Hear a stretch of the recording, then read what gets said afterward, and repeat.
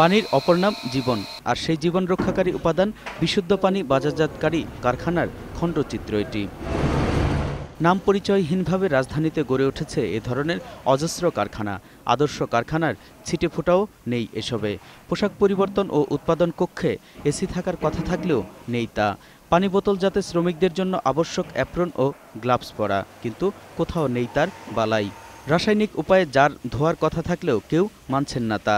প্রক্রিয়া না মেনে সরাসরি ট্যাপের পানি ভরছেন জারে।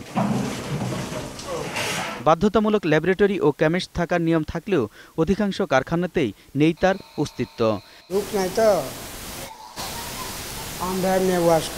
আপনাদের এখানে কেমিস্ট আছে? আমি জানি এটা বলতে পারব না। নেই পানি বিশুদ্ধকরণের প্রয়োজনীয় যন্ত্রপাতি।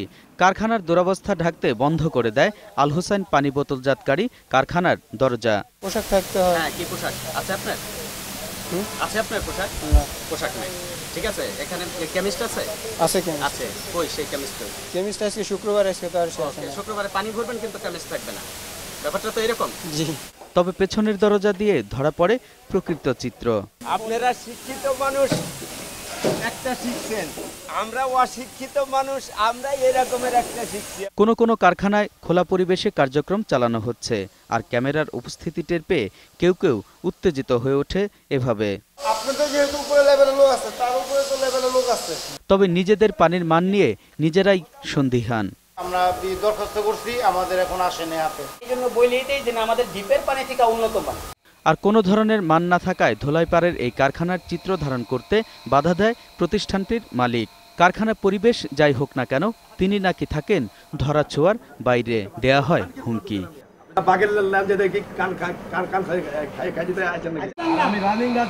আমার এখানে কেউ ঢুকে না।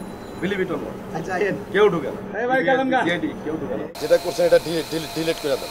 দিনের পর দিন অধিকাংশ কারখানা মানহীন পরিবেশে মিনারেল ওয়াটার বোতলজাতকরণের কাজ চালালেও বিএসটিআই বলছে মান নিশ্চিত করতে গৃহীত ব্যবস্থা আরও জোরদার করা হবে। প্রায় বত্রিশটা প্যারামিটার আমরা পরীক্ষা করি পানির জন্য। এবং সকল প্যারামিটার্সগুলো স্ট্যান্ডার্ড পাওয়া গেলে পরেই আমরা তাদেরকে লাইসেন্স ইস্যু করব।